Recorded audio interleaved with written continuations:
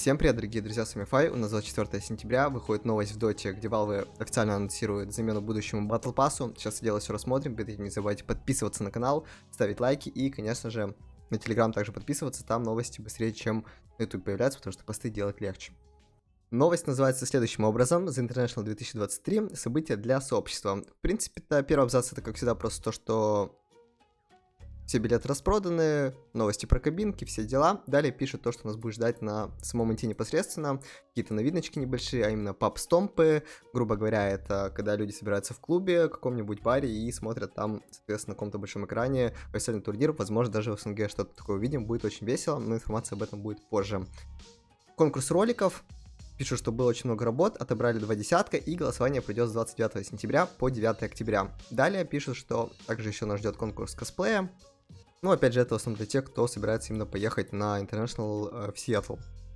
И самое интересное, последнее, давайте прочитаю дословно. Мы с нетерпением ждем посетителей в здании Summit конференц-центра Сиэтла и на стадионе Климат Пейдж Арена, где самые сильные команды по доте сразятся за обладание гиды чемпионов. А для тех, кто будет следить за ходом турнира из дома, мы приготовили компендиум за International, который выйдет на следующей неделе.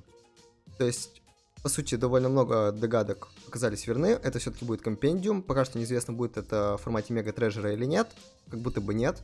Давайте мега кратко, что такое компендиум. Это по типу книжечки, где мы выполняем задания. По крайней мере, так было в 2015 и 2014 годах. Потом уже Valve перешли к Battle Pass. Помимо этого, относительно недавно также Valve возвращались э, к компендиуму.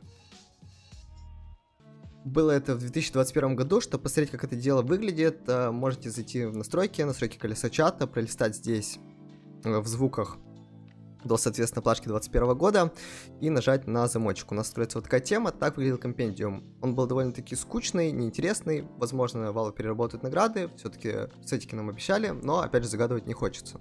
А касательно более точной даты релиза, ну, я бы ее пробовал подчеркнуть отсюда. 29 сентября, это как раз пятница, а обнова выходит четверга на пятницу. Опять же, то есть именно в этот момент начнется конкурс роликов, и, возможно, он будет сразу вместе с выходом этого самого компендиума.